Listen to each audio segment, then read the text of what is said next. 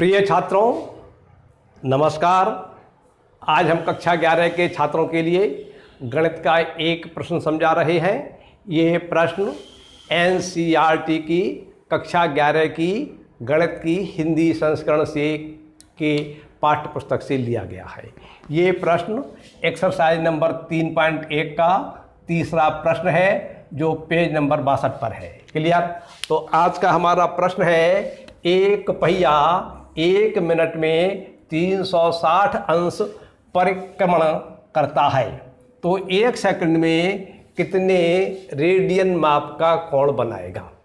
तो पहली बात तो यह है कि यहाँ पर जो आपका 360 डिग्री दिया हुआ है, ये कुछ गलत है।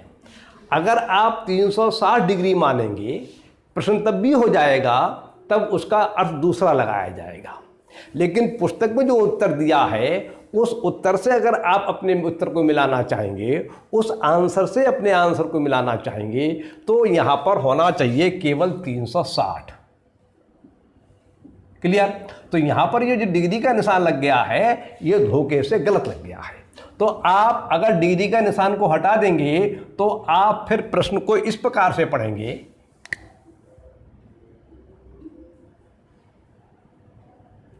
एक पहिया एक मिनट में 360 परिक्रमण करता है।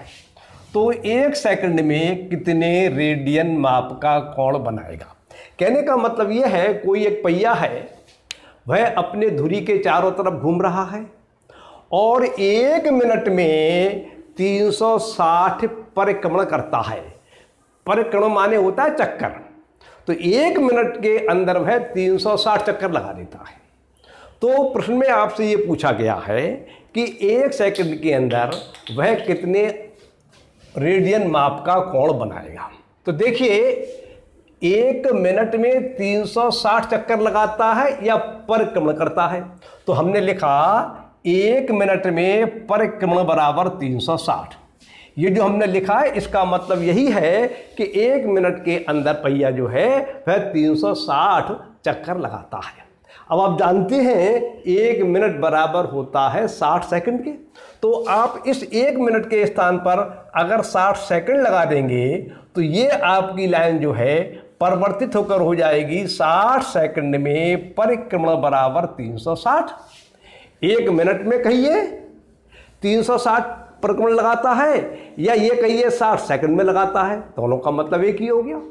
अब हमसे प्रश्न में ये पूछा गया है, एक सेकंड में कितने रेडियन माप का कोण बनाएगा? तो यहाँ से जो हमारे लिए प्रक्रमण निकल के आए हैं, वे तो 60 सेकंड के निकल के आए हैं। और हमारे हिसाब लगाना है, जो कोण का वह एक सेकंड का लगाना है। तो पहले हम ये निकाल लेंगे कि एक सेकंड के अंदर कितने परिक्रमण लगाएगा। तो एक सेकंड के अंदर कितने परिक्रमण निकाल लगाएगा? इसके लिए क्या करेंगे हम? साठ से से भाग कर देंगे साठ से से भाग कर देंगे। जब साठ से से भाग करेंगे तो एक यहाँ पर आ जाएगा और साठ से इधर भाग करेंगे तो तीन सौ साठ बटे साठ आ जाएगा।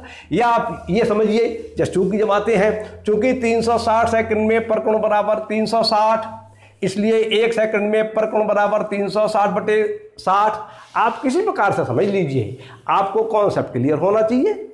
क्लियर अब इसको हम काट देंगे। यहाँ पर छः आ जाएँगे हमारे।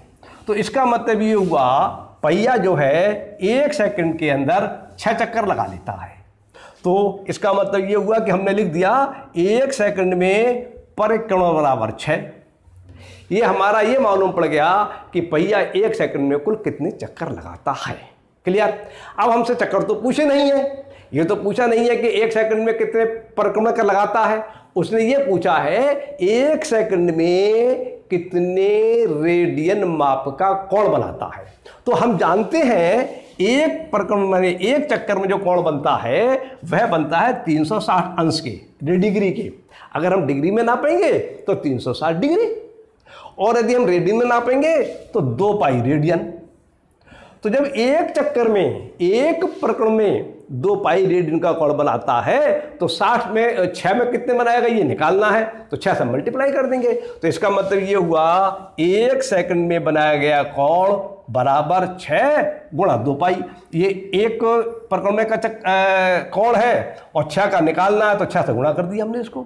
इसको गुणा करेंगे तो ये आ जाएगा बारह पाई रेडियन यहाँ पर हमने रेडियन में इसलिए लिखा है क्योंकि यहाँ पर हम जो कोण निकाल रहे हैं, वह रेडियन में निकाल रहे हैं। अगर अंश में निकालना होता तो यहाँ पर 360 का मान 360 लगाते। क्योंकि एक चक्कर में 360 अंश लगा, घूमता है, या ये कहिए, दो पाई रेडियन घूमता है, दोनों का मतलब एक ही है।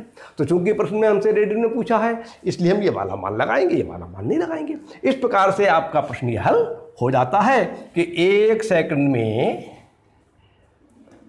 बनाए गए कोण की माप रेडियन में आ गई? बारह पाई रेडियन। और ये आपका आंसर हो गया।